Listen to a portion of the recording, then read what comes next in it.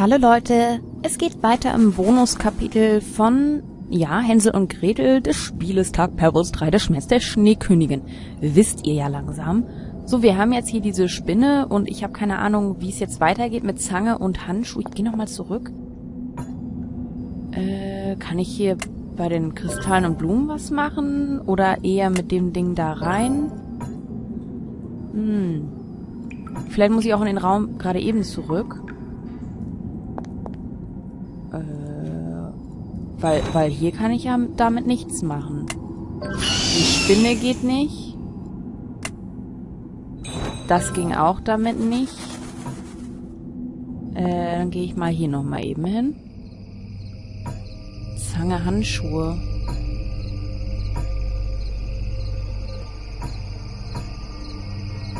Vielleicht halt bei dem Schloss hier irgendwas. Nee. Angeblich.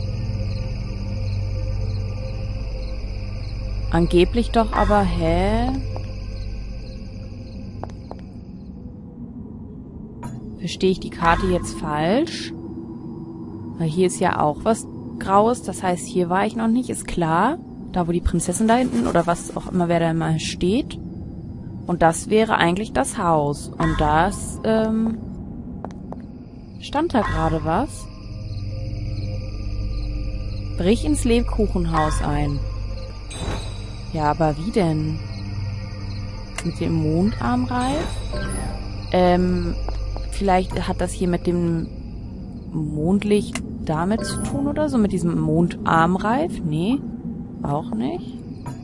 Habe ich hier irgendwas übersehen? Hier gibt es für mich jetzt nichts zu tun. Ach, dann doch nicht. Hier auch nicht. Hier auch nicht. Bin ich hier total falsch? Muss ich hier irgendwas machen? Mit der Zange vielleicht das Ding bauen? Hä, Leute? Was wollt ihr denn von mir? Ach, ich soll mit Handschuh und Zange den Pfeil da. I don't feel pain anymore. I will go out and leave you alone, child. Der Oger war so dankbar, dass er mir einen Schlüssel in Form eines Lutschers gab. Lutscherschlüssel. Ah, das finde ich toll, ein Lutscherschlüssel. ja.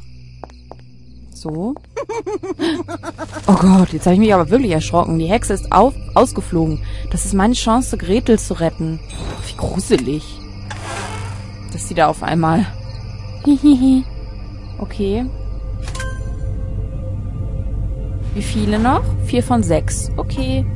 Lecker, das ist aber ein großes Stück Kuchen. Doch Vater sagte, es gehört sich nicht, Dinge zu nehmen, ohne zu fragen. A guard's life is a boring one. Bring me something shiny to play with, and I will solve your troubles. Bitteschön. Nee? Oh, na gut, dann was anderes. Dieser Schaukelstuhl sieht genauso aus wie der zu Hause. Ach, wenn Vater mich jetzt nur in den Armen halten und mir Geschichten vorlesen könnte. Okay. Silbernetz ist für gewöhnlich flüssig, doch bei Kontakt mit magnetischen Objekten verfestigt es sich. Ja. Aha. Ah, die Hexe, hallo. Das ist die schrecklichste Person, die ich je gesehen habe. Ich muss Gretel befreien und zwar schnell. Ja, da oben ist irgendwie auch noch so eine Aussparung oder so, sehe ich. Oh. Hansel, the witch said she'll boil me in tonight's stew. She's headed to gather ingredients and will be back soon. Na dann äh, werden wir mal das hier schnell erledigen. Mein Lieblingsspiel.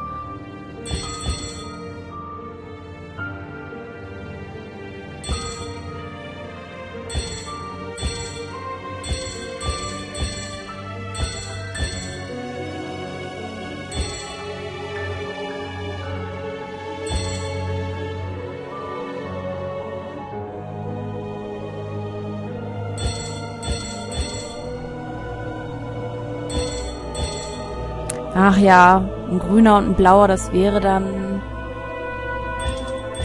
Das ist dann falsch. Ach, ich mach ganz von vorne nochmal.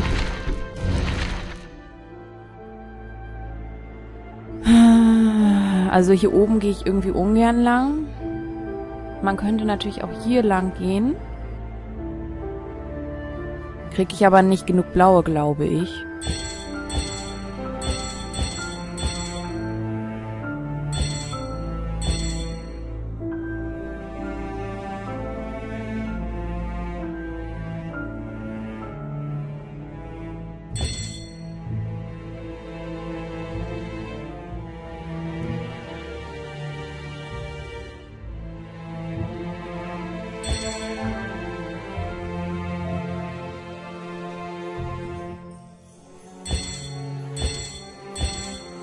Das war jetzt auch blöd.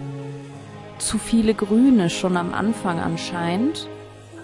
Aber das mit den Blauen war nicht schlecht. Ich habe mich leider gerade nur auf die Blauen konzentriert. Das war ein bisschen doof. Warte, ich gehe mal direkt runter. Ich weiß, ich gehe immer ganz raus und kann hier zurückgehen, aber manchmal ist es trotzdem schneller. Ähm, so.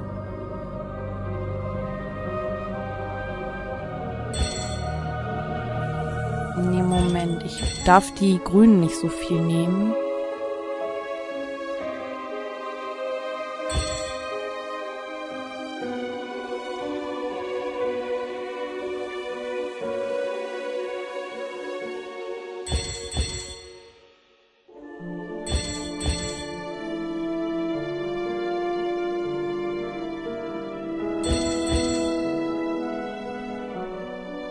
Das haut doch mit den Grünen nicht hin.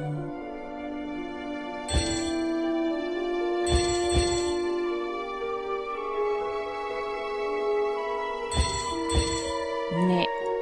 Das haut so nicht hin. Ähm. Kann man denn mal die Grünen umgehen? Gar nicht irgendwie.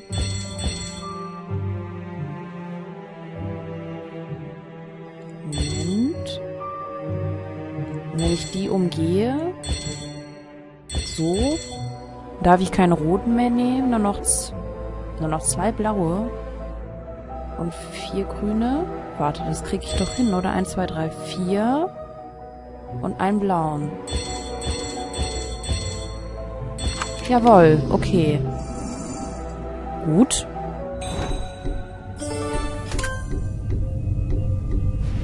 So, fünf von sechs von die Hexe und die Göttin. Dann habe ich jetzt noch einen kleinen Hammer. Hier muss die Hexe wohl schlafen, aber schlafen Hexen eigentlich? Keine Ahnung. Ja, Gretel ist ja gut. Nur eine besondere Axt kann einen Baum aus Gold fällen. Die böse Hexe wird sich nach ihrer Rückkehr sicher einen Schluck Wein gönnen. Soll ich den dann noch einen Schlaftrunk reintun? Dieser Schrank sieht aus wie die, die Vater an seiner Werkstatt macht. Save Ja, Clementine. Wir holen dich ja schon raus, dann demnächst. Ich weiß nicht, was angsteinflößender ist, in einem dunklen Wald gehen oder im Haus der Hexe zu sein. Ja, das kann ich mir vorstellen, dass das eine schwierige Frage ist. Wo ist denn jetzt dieser goldene Baum? Steht der nicht hier draußen? Hier ist der Lebkuchenschlüssel. Da muss noch mehr im Haus sein, oder? Obwohl, warte mal, kleinen Hammer. Kann ich damit vielleicht hintenrum was jetzt machen? Oder mit... Nee. Hätte ja sein können, dass man den äh, doppelt einsetzt. Gut, dann wimmeln wir erstmal. Wenn man das Wimmeln nennen kann, ne? Ich, ich suche ja nur quasi nach überschüssigen Objekten. Richtig wimmeln dauert länger.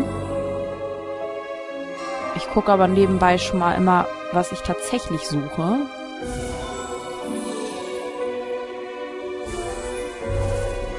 Und jetzt nur noch dieses silberne Ding da, oder? Ja. Wunderbar. Das ging ja wieder flott.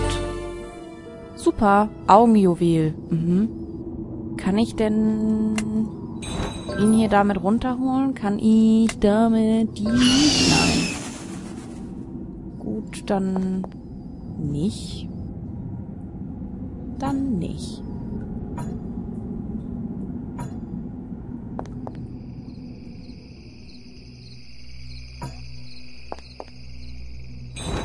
Nee, das Bauen glaube ich auch nicht, obwohl mit dieser Axt, nee, ne? Nee. Also, das ist ja ein Hammer. Quatsch. Ging aber. Komisch. Gut, spitzer Knochen. Ja, ich, ich und Handwerk, ne? Mhm. Äh, ja.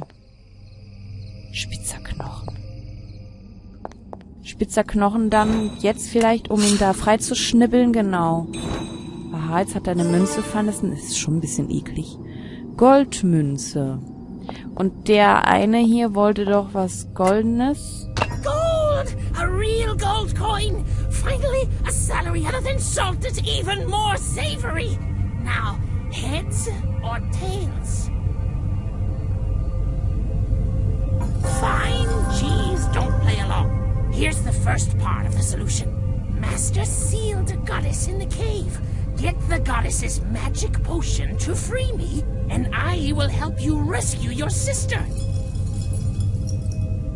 Fine, Warte nochmal. Die Herrin hat eine Göttin the in der Höhle eingesperrt. Bring mir den Zaubertrank, um mich zu befreien und ich helfe dir, deine Schwester. Äh, die Göttin in der Höhle. Ja, aber sie redet immer noch, während ich rausging. Die Göttin hier in der Höhle, die wird das wohl sein. Aber, ähm, nee, so komme ich ja eh nicht vorbei. Ich glaube, da muss ich nochmal hier irgendwas erledigen können. Ja, hier gibt's auch schon das nächste Wimmelbild.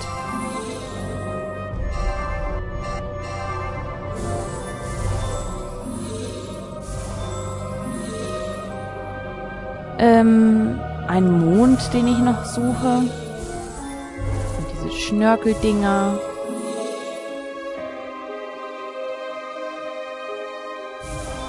Den da und einen roten Stein auch noch. Den da.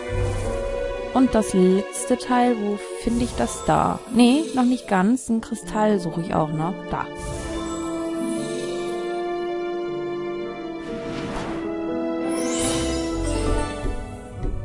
Ja, dein Helm hilft hier aber auch nicht gerade wirklich. Gut. Ich habe jetzt hier diverse schöne Steinchen.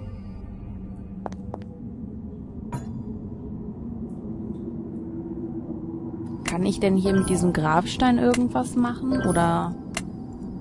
Hm.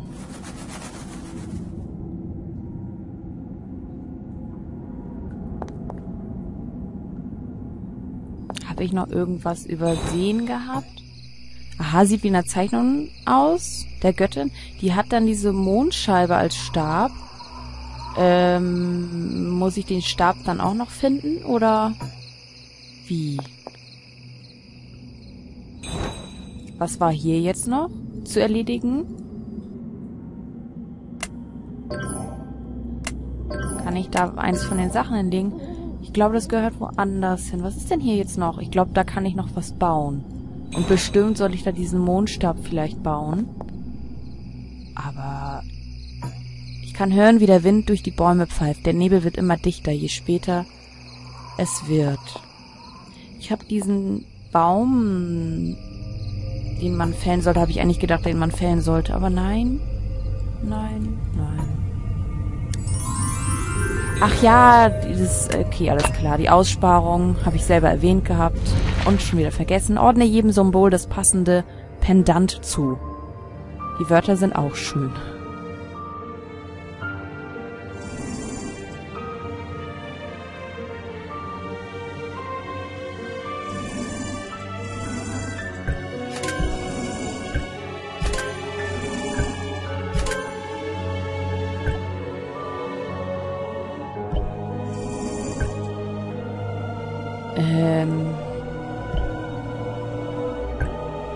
Ohrringe sind doch eigentlich super genau.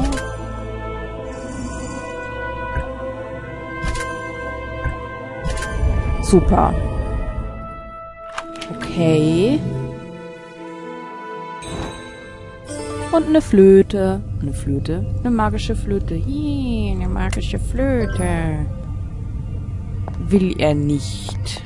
Ich glaube, ich flöte jetzt der Spinne was vor und dann schläft sie ein. Wenigstens töten wir sie nicht, für alle, die die Spinnen mögen. Das ist ja eine schöne Statue der Göttin. Die Göttin hat, hatte den Wald einst beschützt, nun ist sie in dieser Statue gefangen. Hier ist eine leuchtende Flüssigkeit darin, doch das Glas ist zu dick. Also auf jeden Fall muss ich das ja irgendwie alles mal, ne? Oh, ich höre Geflüster. Sowas finde ich immer ganz cool. In so einem magischen Wald, wenn das auf einmal so flüstert. Dies ist kein gewöhnlicher Baum, er besteht gänzlich aus Gold. Ach, da ist ja der goldene Baum. Warum sind diese Kristalle überall? Das muss etwas bedeuten, aber was? Ich weiß es doch nicht. Wo kann ich denn hier die Sachen mal einsetzen? Also diese Mondscheibe war eigentlich in ihrem Zepter, aber das geht wahrscheinlich so nicht. Was ist mit ihrem Armreif?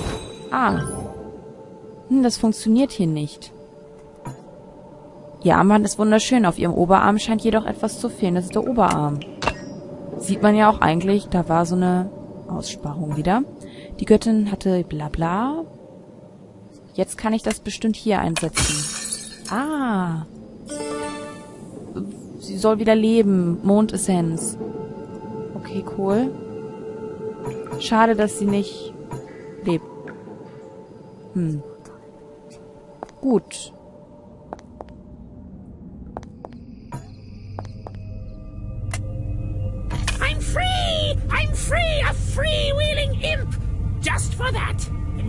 This once, I'll keep my promise. Das ist ja nett. In the now unguarded kitchen is a recipe book with an eternal sleeping potion. Pour it into Ex-Master's wine, and she'll never wake up. Ich wusste doch, dass ich sie zum Einschlafen bringen soll. Das war klar. So, ich habe hier einen Lebkuchenmann-Schlüssel. Ich finde die Schlüssel gut. Lutscher, Lutscherflüssel, äh, Schlüssel finde ich am besten. Obwohl ein Lebkuchenmann-Schlüssel finde ich auch gut. Warum haben wir nicht so coole Schlüssel? Mit diesem Mörser kann ich die Zutaten für den Trank mischen. Oh, wir dürfen gleich wieder ein bisschen äh, rumkochen. Diese zierlichen Blumen gedeihen in dunklen Höhlen. Fällt helles Mondlicht auf sie, erblühen sie augenblicklich. Na dann. Der Küchentisch, Küchentisch sieht aus, als hätte man hier vor kurzem erst gekocht. Finden doch bestimmt hier noch mehr, oder nicht?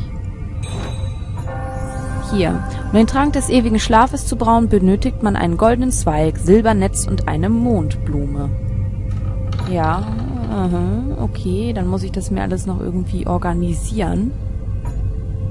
Die Nacht ist sternenklar, ich kann die Grillen zirpen hören. Ich möchte einfach nur nach Hause. Ja, aber ja nicht alleine. Da fehlt der Griff. Gut.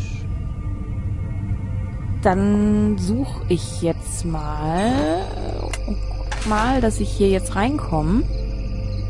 Das ist so toll, diese neuen Orte auch immer zu entdecken. Ich bin jedes Mal gespannt, wie schön das nächste Bild ist. Ob Vater in diesem Moment wohl auch den Mond ansieht, ich möchte nach Hause. In der Mitte dieser goldenen Scheibe ist eine winzige Öffnung. Aus der Ferne sehen die Äste aus wie die Krallen eines Ungeheuers. Zwei kleine Äxte stecken in dieser bunten Marmorkugel. Das sieht wie ein Altar für die Göttin aus. In ihren Händen scheint etwas zu fehlen. Mhm. Voll schön. Aber ich glaube, da gibt's gerade nicht viel. Da muss ich auch noch rankommen, da auch. Ach, hier gibt's wieder was zu tun.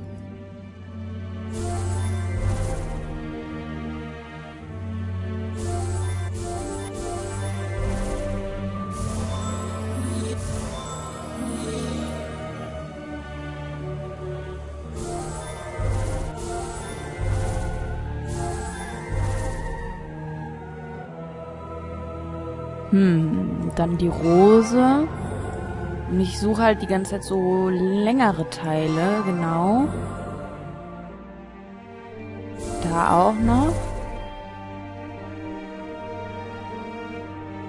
Ah, ist ein bisschen schwieriger.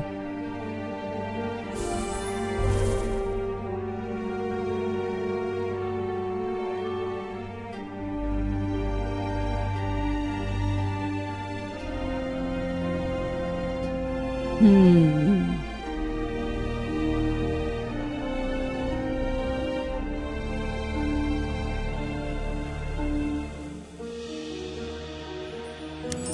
Ja, wenn man nicht weiter weiß, okay, gut, das war schon fies. fies, kann man sich aber auch denken. Wenn man länger schon mal gewimmelt hat. Die verstecken sich gerne dann so am Rand. Ähm, ja, trotzdem finde ich das andere Teil jetzt immer noch nicht. Die sind beide so gleich gewesen. Ich habe sie beide nicht gefunden. Nehme ich halt noch einen Tipp. Ach, geht nicht. Ich muss erstmal wieder laden. Zu viele Tipps. Ich muss mein Hirn anstrengen. Und nö. ähm. Vielleicht hier so. Hier war auch noch gar nichts. So wirklich. Oder es ist auch wieder so am Rand irgendwo dran. Da. Jetzt aber. So, jetzt habe ich hier so einen Spiegel. Einen besonderen Spiegel? Nein. Da kommt die Pfütze, wenn ich auf die Spinne drücke. Ein Haufen Spinnweben. Kann ich die da reintun? Ehe, okay. Hm. Tja, ich weiß nicht, was ich hier äh, gerade machen kann. Kann ich die mit dem Spiegel? Nee. Ich glaube, ich bin hier auch. Also wenn ich hier unten auf die Karte gucke, dann, dann, dann soll ich hier wimmeln. Alles klar, okay. Einfach mal nach unten laufen.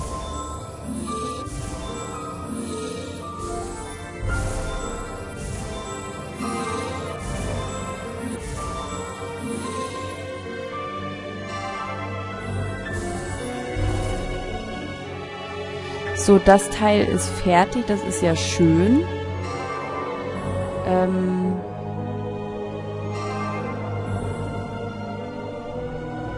Jetzt brauche ich noch so zwei längliche Dinger. Da ist das eine.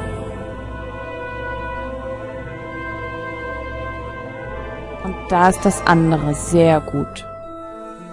Jetzt habe ich eine Eisenaxt. Die wird mich wahrscheinlich etwas weiterbringen, auch als als die andere Moment. Komme ich damit denn jetzt mal durch diesen Baumstumpf hier? Oh, nee, auch nicht. Dann ab mit dem Goldbaum. Nicht? Das macht er nicht. Okay, er tut es nicht.